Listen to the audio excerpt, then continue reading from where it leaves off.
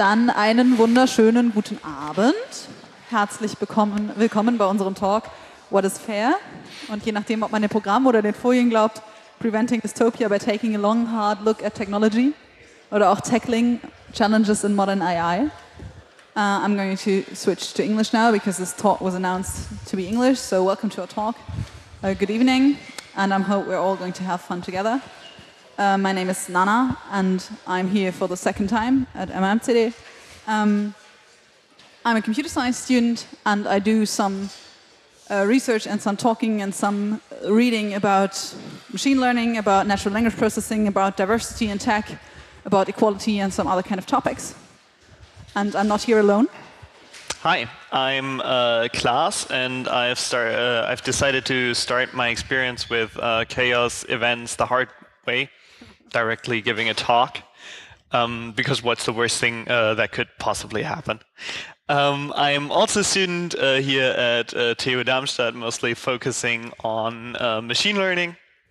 And then uh, I also have some interest in uh, cognitive science, philosophy, and general political activism. And yeah, we are going to be talking about the topics of uh, fairness and biases in machine learning.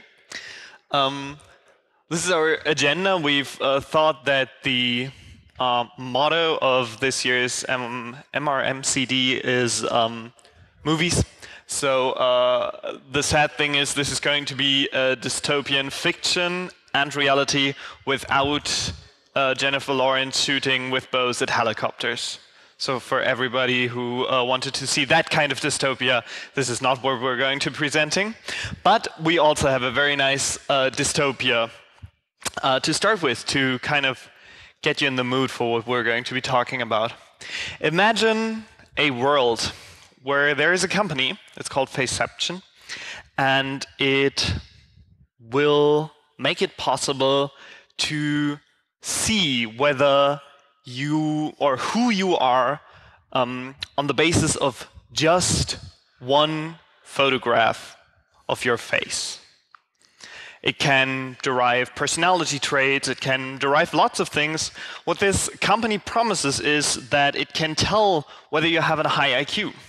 Okay, that might be interesting. Um, I would like to be told that I have a high IQ.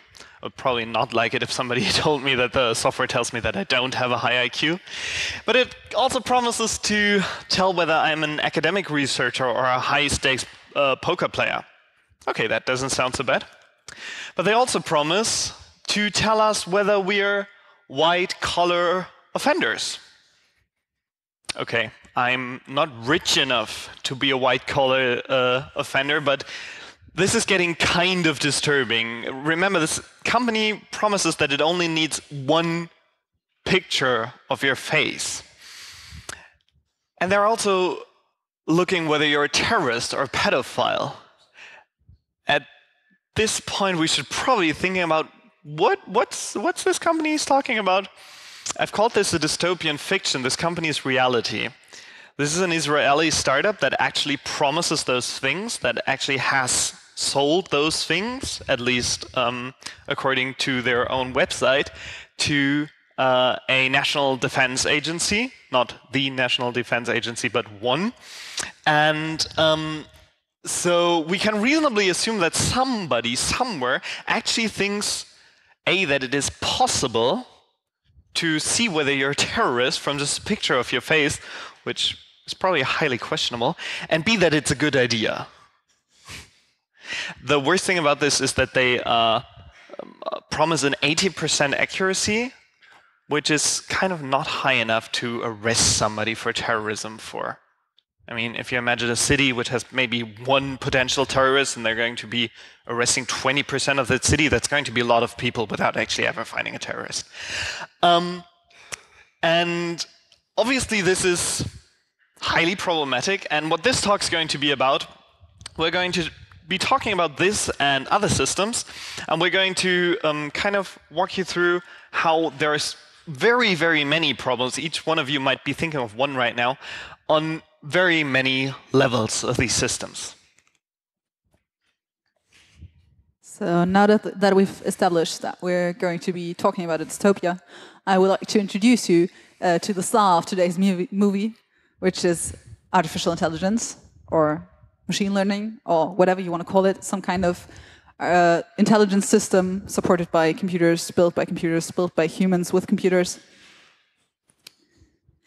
And to do this, I would like to lay out some very, very basic steps of the machine learning pipeline, because I'm not sure uh, whether everyone here has some kind of, of background with this topic or is familiar with any of it.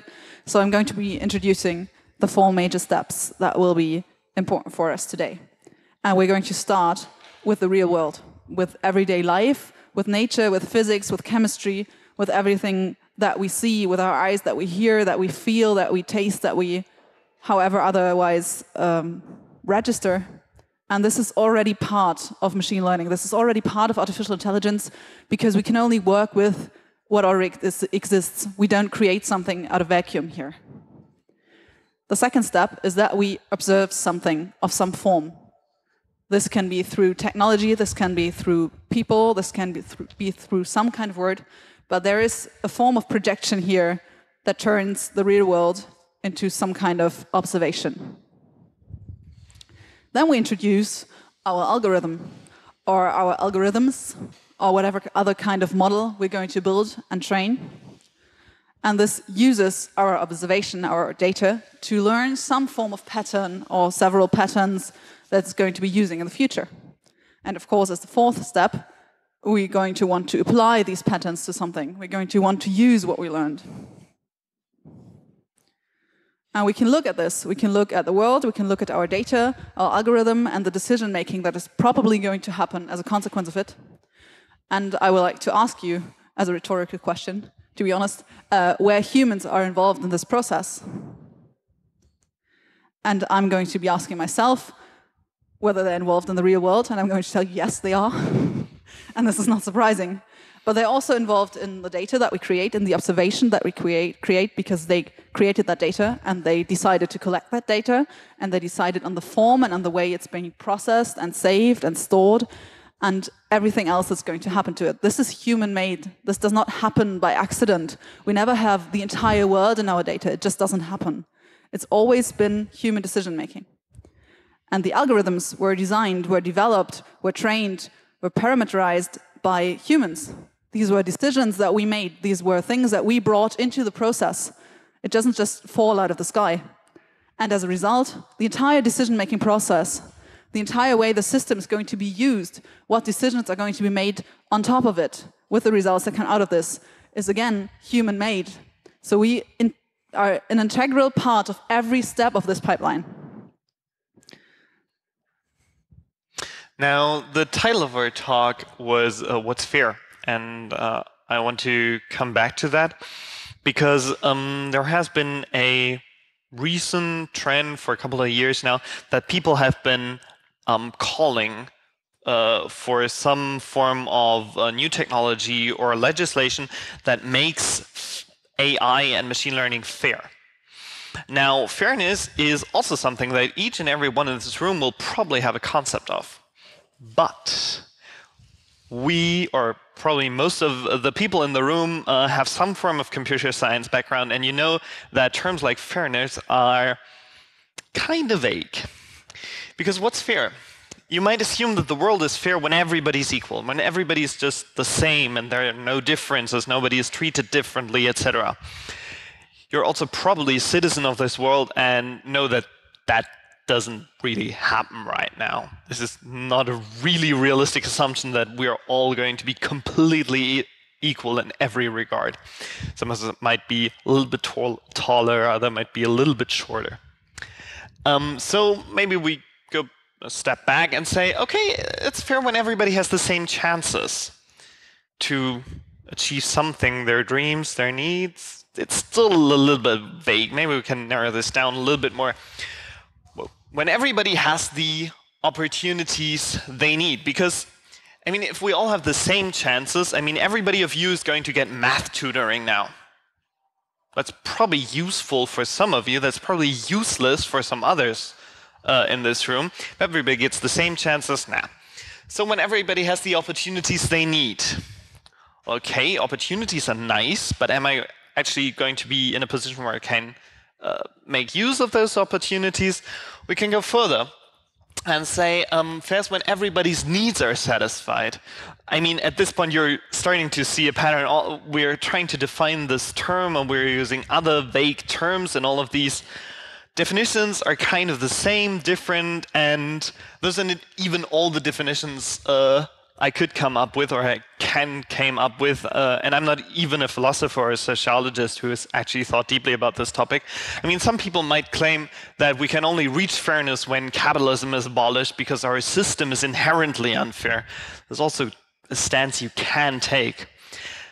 All of this might seem like philosophical bullshitting now, but um, if we want our algorithms to be fair and to make fair decisions, we will have to, at some points, decide what fair means for us. And I'm not espousing that any of those definitions, which I came up uh, with uh, yesterday and today, are the definition of fairness, but I think they all show that that term is very multifaceted. All right. I would like to take you through a thought experiment now, because I kind of uh, think this is going to bring us where we want to go in this talk. And I'm just going to say that we assume right now we have every knowledge there is to have about machine learning, that we know everything we need to know about artificial intelligence, that we know the choices, that we know the ways to do it, that we have the perfect idea of what might fit a question or what opportunities we have. And I'm also going to suppose that we have answered the question, what is fair? that we have a very concrete idea that we consider to be correct of this question, which is very multifaceted, as we've heard. And we're going to move forward a step, because now that we have the background knowledge, we want to do something with it. So what we need is an objective. We need to have a place in mind where we want to go, what we want to do, what we want to build, uh, to start getting there. So what we need is a goal. And we're going to start with a very abstract level, it's not about picking a topic, it's not about picking a concrete everyday problem, but first of all, the idea of what my intelligence system is going to want to accomplish. And some people say that a machine learning system should make perfect predictions. I would like to challenge that assumption because A, what is perfect? Is there always a perfect prediction? And B, can we really predict the future? Predictions are always about things that haven't happened yet, things that we don't know, things that are somewhere far ahead in time. And the question is can computers do what humans can't possibly do? Take everything into account, foresee what is going to happen, what chances will occur, what decisions will be made. Is that a sensible thing to ask of a system that humans have built when they have no idea how to do this? I personally would say probably not. So the next idea is to make uh, interpolations. We have some data, we have some observations, we have things that have happened in the past, and we can take them and we can project them and do some kind of statistical finding of what is probable. And this, in very many people's mind, is what statistics does, and machine learning has a huge part of it that is basically statistics. And we're going to take this assumption as something we might be able to do. But is this what we are doing? Is this really why companies have research and development centers focused on AI? Why DeepMind exists? Why artificial intelligence has been the buzzwords in some of the past years? I'm going to say probably not, or at least not for all of them, because especially companies have a tendency that they do want to make money. So we have the possibility that an algorithm should maybe just make the most profit. There's certainly some people that would make very, very happy. But is that what we want? Is that where we're going with our future, with this kind of intelligent meta system that every, everyone has hyped up to be some kind of ultimate goal? What we're asking in this talk is the question whether maybe, just maybe, an algorithm should be fair. And we've seen that fairness is a kind of complicated argument. But as I said before, we're going to suppose we know what fair is and we're going to set our goal for our algorithm to be fair. And we might just lose some other things on the way. Now, um, some people in this room um, might be uh, bored at this point because this is all philosophical word play, basically what we've been doing. So I got out and looked for real example, and I found this really nice tool um, built by some uh, Google research scholars. Uh, I have the link to it at the end. You can play around with it and uh, see for yourself what happens. It's really a lot of fun. They try to um, propose a theory of what fair AI is and um, they made different kind of they they took uh, basically what I did earlier. They took different notions of fairness and tried to try to run a basic algorithm through it and see what happens. So the scenario here is um, loan uh, loan strategies based on loan scores. So all of you are probably familiar with things like the Schufa, which calculates a score from lots of data about you, and then based on that, a company might decide whether to give you money or not. And uh, they first uh, assumed two populations, blue and orange, to kind of um, kind of make it a little bit abstract from real world issues, and just uh, try to maximize the profit of a company which gives the loans um, based on these populations that we have. So the light gray dots are the people who are not going to pay back the loan, and the um, sort of more colorful dots are the people who are going to pay back the loan. And what you see is um, this maximizes the profit, uh, but the blue population has a different score on which it is uh, evaluated than the orange population. This might be optimal, but uh, some of you might already have some kind of uh, idea what these uh, populations could represent in real life. Be it gender, be it ethnicity, be it something, we probably don't really want that. So they went further and said, okay, if we don't want to uh, differentiate between those groups, we can just go for a group unaware basing. That should be fair, right? Everybody's held to the same standards with the same score, etc. Should be fair. You can see um, the loan threshold is the same, but what's now happening is if you're part of the blue population and you're one of the people who's going to pay back your loan, uh, you have an 81% chance of being accepted. And if you're part of the orange population, you have a 60% chance of getting that loan. So even though we're not differentiating between those groups, something in those groups, of course, it's the distribution of uh, the people in it, um, pre- or lowers the chances that we're getting a loan. And this times also kind of seems unfair because we might not really want those real world biases to influence us based on these groups. So one other thing we might um, strive for is to have a group parity so that both um, uh, that both parties are represented equally in the people that are getting the loan. So the positive rate of the two populations is equal. Um, this is, for example, what you're going to do if you quotate a list. So if you say half of the list is going to be males, half of the list is going to be females. Um, it might be what you want to do. Um, the problem here is, of course, that you have different loan thresholds again. So people are going to be treated differently based on their group. And you also have um, now somebody from the blue population who is going to pay back their loan actually has a lower chance than somebody from the yellow population to get it. So what the people in this paper argue for that the fairest way to do this is to balance the true positive rate.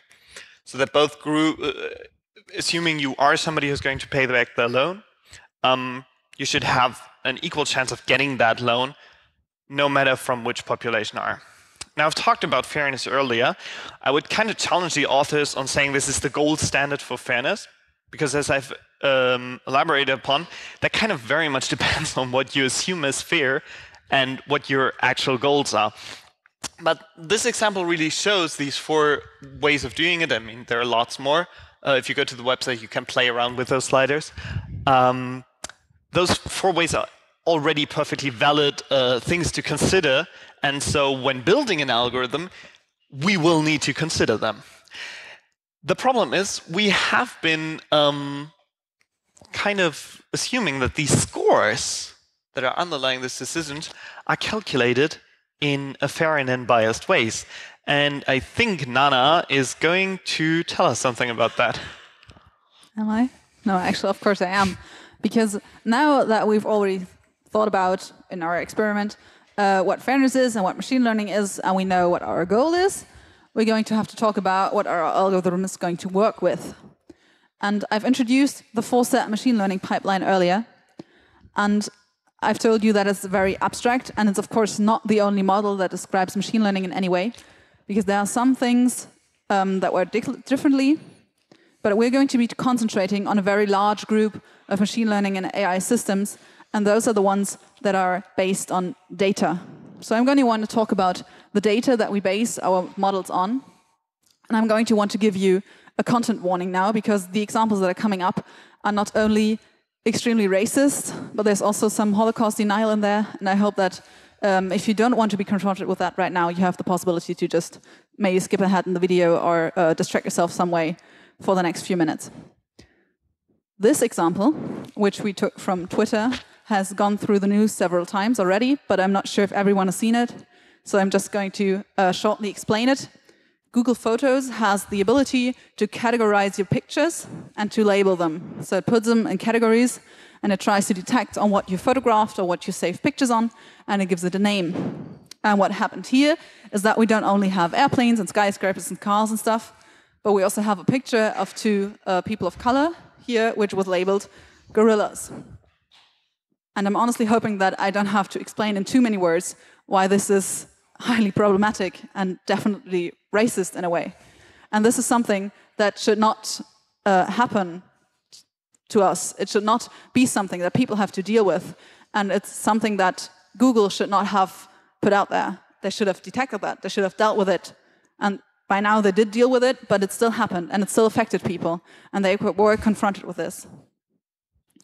The other example is also from Twitter.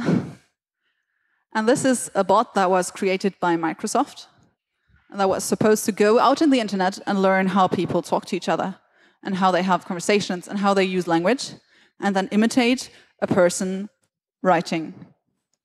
And it did. But there was something they didn't take into account, namely that the internet is a very large place and there's very many different people on there. And not everything that this algorithm or this system or this bot would encounter is something that you want to reproduce. This, for example, is something that you definitely don't want to reproduce, is something that you definitely don't want to put out there.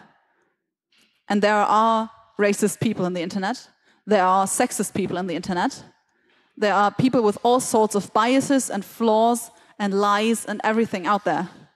And once intelligent systems start to copy this kind of behavior, they adopt these biases, they adopt these flaws, they adopt these problems. Because as we've seen before, humans are always involved, especially when they produce the data that you're going to feed to your system.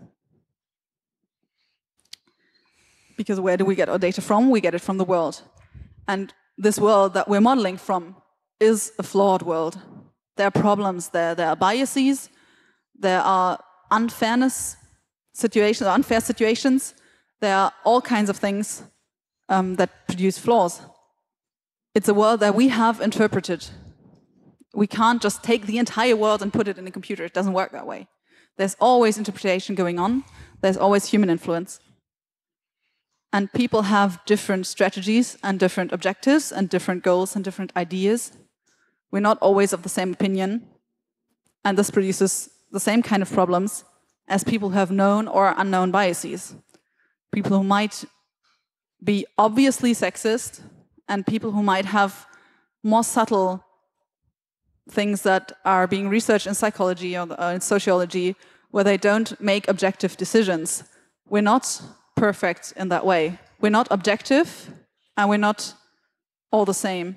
So it always depends on who does what. So we're going to look at our system and we're going to stick with the loan example. So we're going to do credit scoring our step of creating our data, of selecting our data, collecting our data. And what we've done is we asked a lot of people about their education, previous loans they've had and whether they pay them back, their zip codes or their address, basically, their income and their ethnicity. Can I ask you who sees a problem with that list? There's a few hands up there. There's some hands not up there. I get both. And I'm sure that not everyone who put their hand up sees the same problem. Um, the problem I'm going to suggest is there might be someone of Latino descent And just because of their ethnicity, the algorithm might decide they're not worthy of a loan. But this says nothing about this individual in, in particular. They might still have enough possibilities to pay back. They might still be responsible. They might still have all the attributes that you want from a person you lend money to. So, to solve this problem, to eliminate the racism that you can see in the system, what can we do? The obvious solution is we take out ethnicity. We just take it out of the equation, we delete the data, we don't put it into the algorithm anymore. Is this a fix? Are we safe now? I seriously doubt it. Because statistics and mathematics and machine learning all come together somewhere. And most machine learning problem, uh, uh, most machine learning systems rely on the same assumption.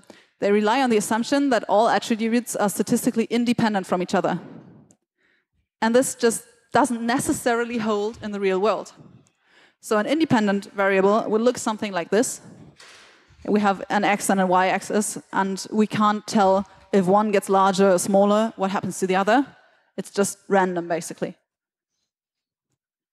But a variable might also look something like this that we can, in fact, tell from x something about what might possibly happen to y.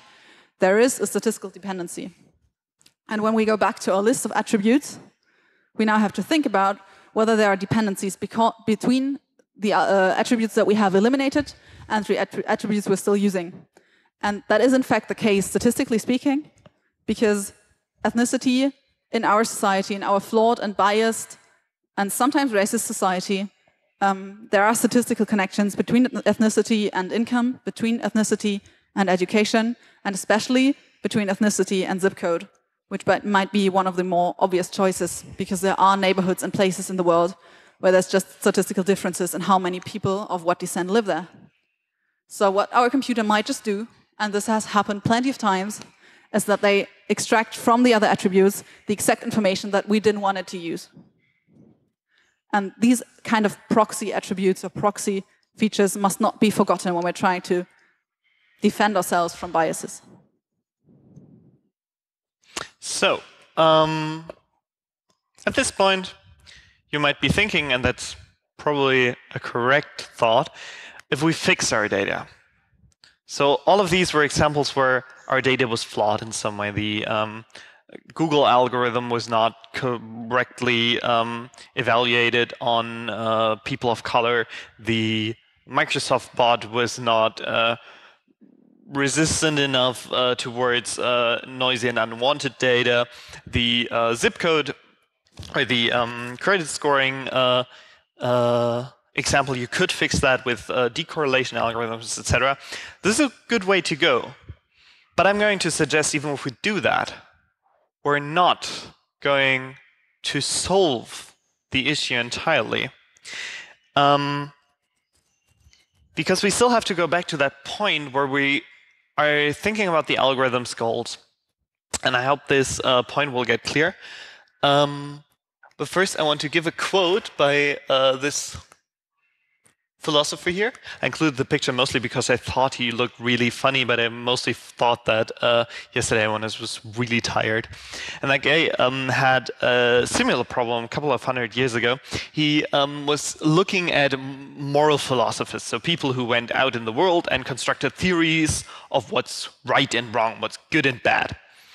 And um, he basically said, okay, I looked at everything they've written, and most of those people at some point say, um, sheeps eat, uh, wolves eat sheep, so it is good that wolves eat sheep. And that's a kind of fallacy, and this is called the is-ought problem. Um, my, my, pointer really doesn't work well anymore. Um, the is-ought problem basically states only because something is the way it is in the real world, it's not necessarily supposed to be that way. Because obviously, there is a lot of income inequality, for example, uh, here and in the Americas uh, between um, white and pe uh, people of color. This is not the way it ought to be, it is the way it is. And I'm going to ask the question aren't our algorithms very much prone to committing the same or a very similar fallacy? And I want to make that point on something that's also garnered a lot of attention in the last few years. Predictive policing. Predictive policing is a um, pretty well-known tool, uh, has been a well-known tool for a long time. It's gotten a lot of additional attention because the algorithms for it got better. It's basically um, a police department is going to look at the map of a city and it's going to say, okay, in these neighborhoods we observed far higher crime rates under these and these circumstances. For example, in some neighborhoods, crimes are more likely to happen in the early evening, in others in the late evening, in some in the winter, in some in the summer, and so on. And based on that, we are going to calculate how many policemen we need in that area. Seems like a very rational thought. But what's the um, what's like the uh, the thing that has to happen before a crime is reported? There has to be a policeman there who observes a crime or somebody else who tells the police. So what the ACLU has found is that um, what these predictive algorithms actually observe very much is um, in areas where there is a lot of police, they're going to predict a lot of police. There's going to be a lot of crimes um, directly seen there because there are a lot of policemen there. But it goes even deeper than that. A well-known, uh, well-known, many studies actually, a well-known phenomenon that has uh, mostly been observed in, or I know it from New York, is that neighborhoods which are over policed are actually going to develop crime because the people there are uh, going to be, uh, first of all, thinking that there is more crime, because if you see more policemen out there in the streets, you're going to think, oh man, this is a criminal neighborhood, and the whole, the whole social tension in the neighborhood rises because people are going to feel under suspicion. They're going to be um, angry. They're going to be uh, felt like they're uh, observed too much. And so, in a way, if you just don't think about this anymore and just send the police where the algorithm is telling you to send police, you're probably even going to create crime if you don't consciously steer against that. And I think this is one of the most um, extreme examples of how algorithms can reinforce what is in nature by predicting that it's always going to be that way and we, in believing this prediction, are going to be conforming to it in a way. Now, um, at this point, um, you might ask, uh, can we prevent this? Are we doomed now? Yeah. I mean, we're doomed. All of this is happening. I mean, all of these things that we showed you are not fiction, they're reality. Some haven't really been implemented on wide scale, some have. I suggest we basically switch off the internet, uh, disconnect our computers, and go back to living in caves because once AI takes over, uh, we're finished. I'm going to say no, we're not doomed yet. We're going down a path at the time, at the current time, that is probably leading somewhere dark, that it certainly has many pitfalls, that has a lot of problems, some of which we've shown you today. But it's still just a path. We're still not there yet. And there's still plenty of ways that we can do something, provided that we actually do something to get there. And to tell you about this, I've brought someone with me, and her name is Cathy O'Neil. She's a mathematician, and she's the author of the book uh, Weapons of Math Destruction. And she has a message for basically every person in this world. And the first part of it goes to the data scientists out there, to everyone who's kind of in big data or machine learning or artificial intelligence or any of these disciplines. And she says, we should not be the arbiters of truth. We should be translators of ethical discussions that happen in larger society. And what she means by that is that, first of all, just because we have the technological uh, knowledge, just because we are the people building these systems that are going to change or are going to shape our future just because we're the ones at the keyboard. We're not the people who get to make the decisions. It's not our right and it's not our competence to decide on ethical, philosophical, societal questions just because we're the one building systems that might be influenced by them. But the second part of the message is that just because we're computer scientists or technologists or any kind of people involved with that, it's not like we can say, well, then it's none of our business. We're just coding. We're just doing what other people are telling us. That's not how it works. Because these questions influence our work and they influence our decisions. And we are part of society. We have a responsibility toward the rest of society and towards ourselves that we influence and shape and do these discussions and that then we kind of combine the two worlds. We combine the discussions we have in society and the conclusions we reach and the things we want to try with the technological side that is going to influence everyday life of so many people. And we have to, to be that bridge because no one else can be. And we are part of this whole discussion. And I've said that she has a message for basically everyone. And this was just for the data scientists. So here comes for the non data scientists. This is not a math test. This is a political fight. We need to demand accountability for our algorithmic overlords. And what that means is that just because someone is not technologically interested or someone is not a data scientist or is not building intelligent systems, that doesn't mean that they're out of it. That doesn't mean that it doesn't impact them at all. And that doesn't mean that I don't have any responsibility toward this whole issue. Because this is a discussion that we need to have. This is something we need to demand from governments and from people in positions of power and from people working in large companies or in society um, that are making decisions for us and that are doing things that will impact our entire lives and our future. And we need to demand that there's some kind of fairness, some kind of accessibility, some kind of transparency, some kind of accountability. And we need to enforce that this is somehow being put into rules and into ideas and into system and into our sense of what is right and integrated in our everyday life. So, what can we actually do? Most importantly, we can start asking questions to ourselves, to others who build these systems, to this whole kind of subject. I mean, you've done the first step, you're here listening to us, so there's probably some kind of low level interest, maybe high level interest, I don't know. I would like to find out, to be honest. But we have to keep asking questions. And when we're talking about intelligent system, I think there's basically three big questions that we have to ask. The first one would be who is building these systems? Who is designing these systems? Who is making them? Who are these people? And the problem that I see in tech is that too many of them are built by these stereotypical cis, hetero, male, white, young, able bodied guy in Silicon Valley somewhere and is this our society? Is this representative? Can that work if people don't have the background or the knowledge from any other part of society that they build systems that influence all of us? I don't think so. I think we need more diversity in this world and more diversity in the people who make these decisions and design these systems.